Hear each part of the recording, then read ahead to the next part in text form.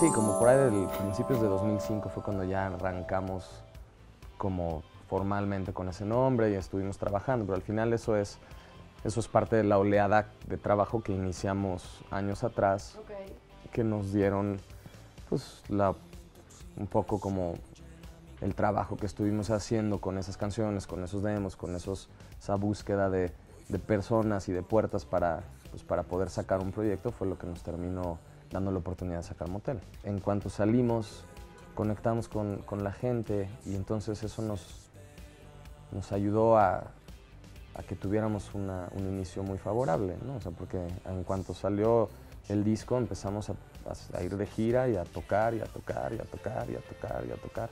Tú como creador o como músico, como artista, tú siempre tienes que tener un, un control de calidad muy alto en las cosas que tú haces. Y tú eres la primera persona que se tiene que exigir. Tú tienes que saber cuál es tu mejor trabajo y siempre tratar de hacer algo mejor.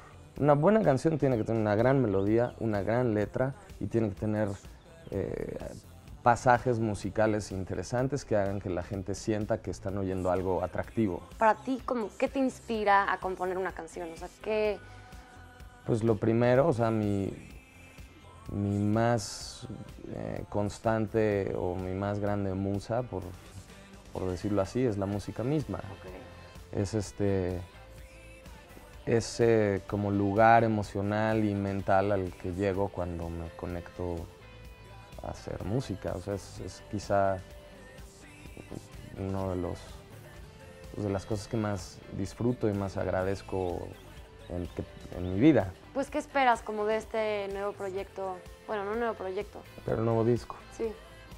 Pues ojalá que... Pues que la gente lo escuche, creo que es lo único que puedes esperar. Que, que encuentre la forma de llegar a, a muchos oídos Ajá. y ojalá que a través de los oídos puedan llegar a, a muchos corazones, ¿no? muchas okay. personas. O sea, es difícil esperar más porque nunca sabes qué va a pasar. Ojalá podamos salir y tener una, una gira este, increíble por todo México y llegar a, a, más territorios, pero al final eso está en esos lugares que al final no puedes ni querer, ni pretender controlar, ni, ni suponer nada.